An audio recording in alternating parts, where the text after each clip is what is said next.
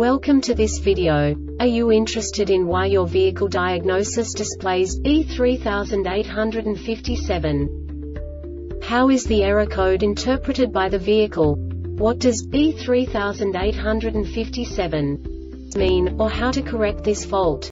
Today we will find answers to these questions together. Let's do this. First, let's look at the history of diagnostic fault code composition according to the OBD2 protocol, which is unified for all automakers since 2000. We divide the electric system of automobile into the four basic units. Powertrain, body, chassis, network. This distribution is defined in the first character code.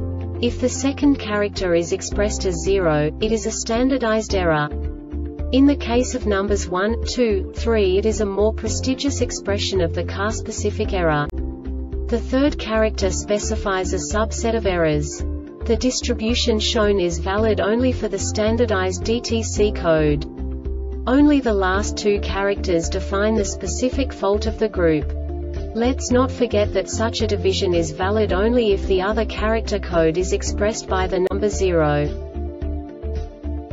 Our website airbagreset.sk produces useful videos for you.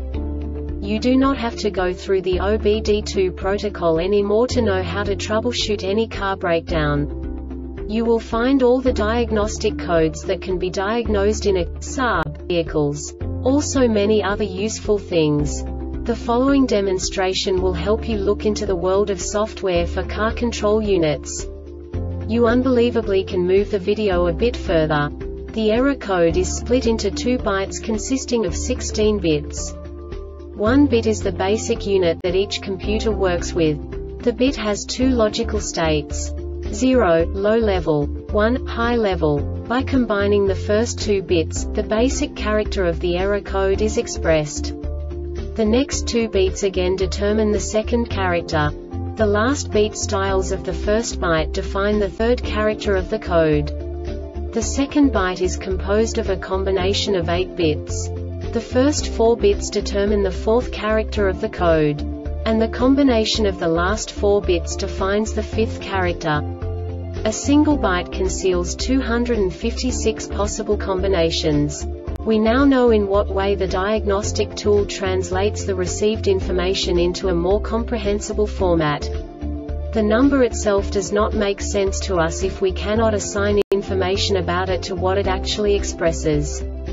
So, what does the diagnostic trouble code B3857 interpret specifically, Saab, car manufacturers? The basic definition is, Incorrect rollover sensor installed. And now this is a short description of this DTC code.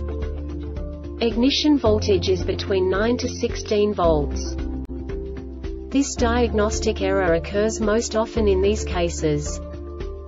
When the SDM has received an ID message from the rollover sensor that does not match the ID stored in the SDM memory. The Airbag Reset website aims to provide information in 52 languages.